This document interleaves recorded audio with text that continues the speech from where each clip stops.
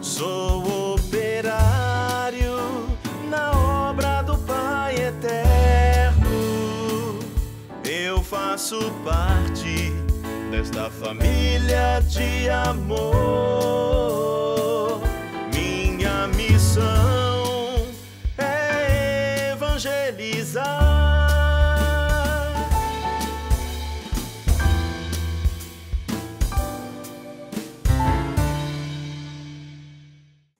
Manhã de terça-feira, dia de programa Pai Eterno para todo o Brasil. Nós vamos agora compartilhar a nossa fé e devoção neste encontro. Toda a nossa gratidão pela sua participação conosco. Hoje nós vamos começar pedindo as bênçãos do Pai Eterno pelo novo Santuário de Trindade. O pilar que será abençoado pelo Padre Robson de Oliveira recebeu o nome de um dos sucessores de Pedro. Eu estou falando do Papa Leão I, ou São Leão Magno. Meu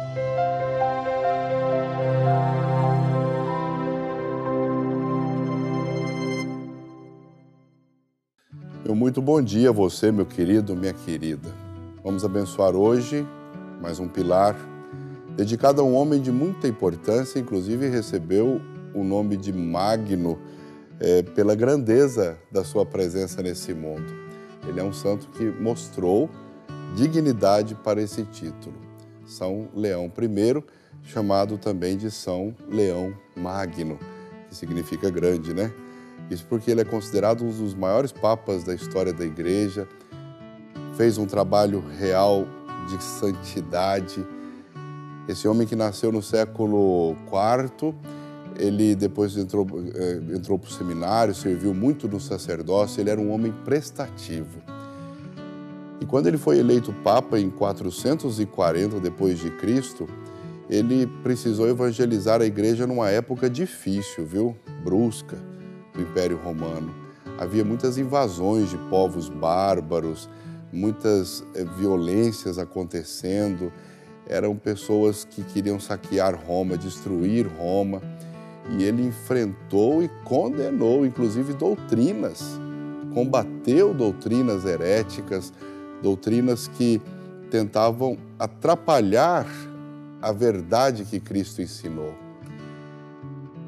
tentou criar uma situação, inclusive eh, colocando dúvidas, dizendo que Jesus Cristo era só Deus ou ele era só homem. E isso aí gerou muitos problemas até no concílio de Calcedônia. Ele era um homem realmente que teve uma importância muito grande nas bases do pensamento da igreja, mantendo assim a igreja límpida, cristalina no seu ensinamento cristão.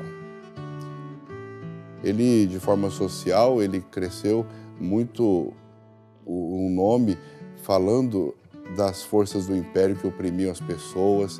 Ele procurava também é, apaziguar as muitas brigas, as lutas que haviam, inclusive as tentativas de bárbaros de tentar destruir a Itália, destruir Roma, de matar as pessoas através do, de Átila, que queria atrapalhar tudo. O imperador ele fugia, ele mandava com que os generais tentassem destruir Roma. O, pa, o Papa ele tinha uma força muito grande de influência para impedir esse tipo de coisa. Por isso, meu irmão e minha irmã, a presença de São Leão Magno como pontífice naquele tempo, diante daquelas dificuldades, promoveu que a igreja não fosse levada à ruína, que as coisas de Deus não fossem confundidas. Por isso, ele deixou um ensinamento muito grande num dos seus escritos. Toma consciência, ó cristão, da tua dignidade, já que participas da natureza divina. Esse ensinamento ele deixou entrando no céu, indo para o reino de Deus, do Pai Eterno em 461 depois de Cristo. Nas grandezas deste homem, das atitudes desse homem, da diplomacia deste homem, o legado tão bonito do cristianismo se manteve. Vamos à obra dedicar esse pilar a São Leão Magno. Vamos lá.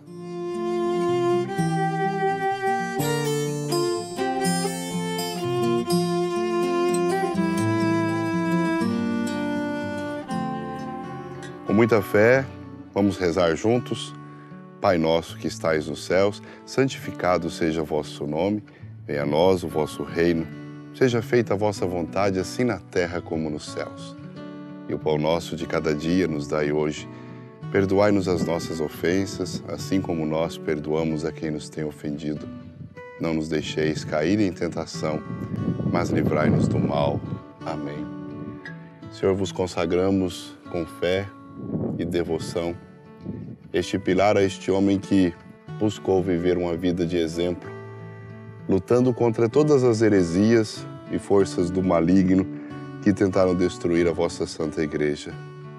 Senhor do céu e da terra, consagro este pilar a vós na intercessão de São Leão Magno, pedindo bênçãos e graças sobre nossas vidas.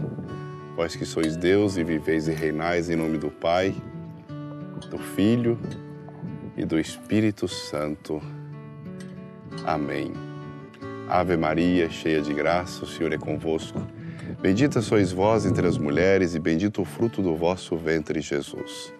Santa Maria, Mãe de Deus, rogai por nós, pecadores, agora e na hora de nossa morte.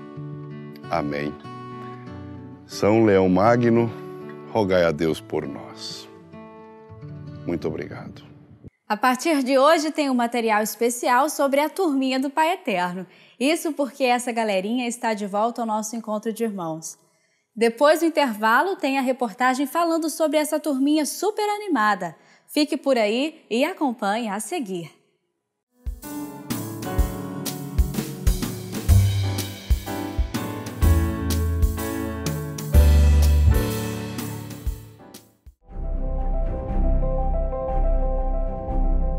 Nós vivemos em um novo tempo.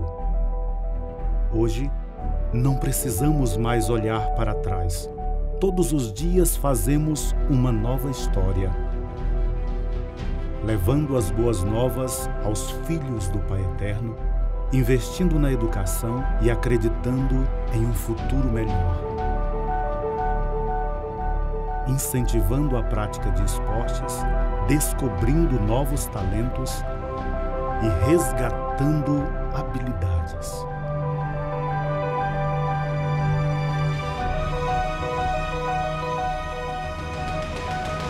Porque somos todos membros de uma mesma família de amor. Faça parte da FIP, paieterno.com.br.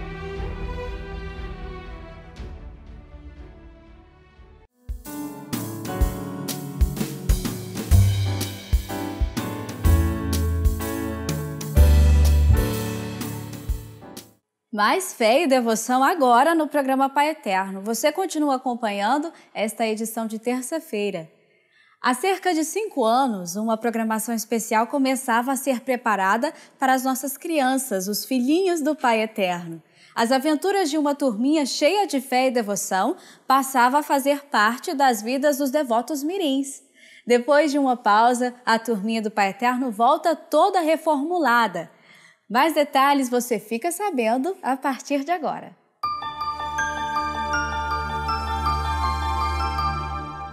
Começa hoje aqui no nosso programa uma sequência de três episódios, aonde nós vamos apresentar para você aí em casa os detalhes da quinta temporada da Turminha do Pai Eterno. E já estamos aqui dentro do mundo animado. Dentro dessa sala com essa rapaziada é muito trabalho muita inspiração e muita imaginação.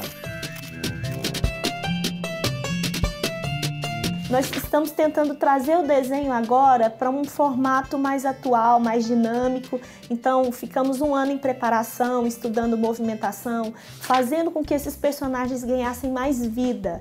Então, a expectativa é total. A gente está com muita vontade de fazer o melhor desenho para você que está aí nos assistindo. Além da Patrícia, o Ramon é o ilustrador da turminha e os irmãos Pedro e Felipe, os animadores. Para atingir o público desejado, que são as crianças, a produção requer alguns cuidados.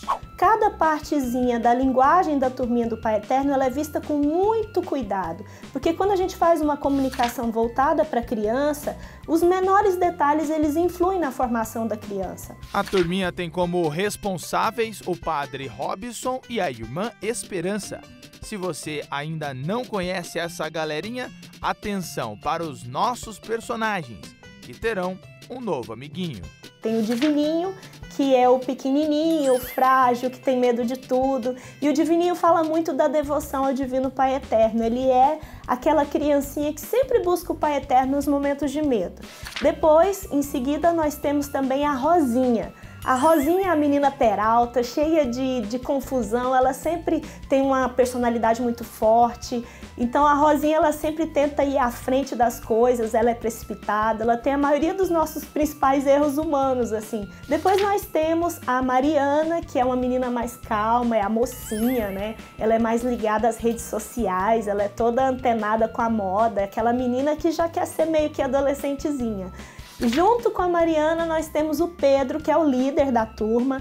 O Pedro é esportista, ele é todo diferente, ele quer sempre ser o líder que chega primeiro. E além do Pedro, nós temos uma novidade esse ano, que é a presença do Miguelito, que é um personagem novo, ele é meio bad boy, ele é meio assim, turrão, mas que também tem um coração enorme, é uma criança que veio para agregar. Com a turminha do Pai Eterno devidamente apresentada, fica aqui o nosso convite para que você aí na sua casa e com a sua família acompanhe o desenho mais evangelizador do Brasil.